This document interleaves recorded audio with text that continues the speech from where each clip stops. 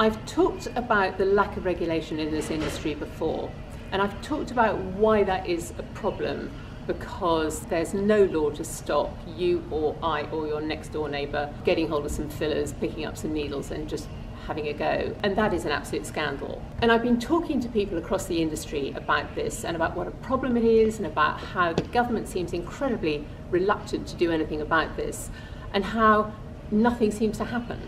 So today, I want to ask you to join me and do something about this.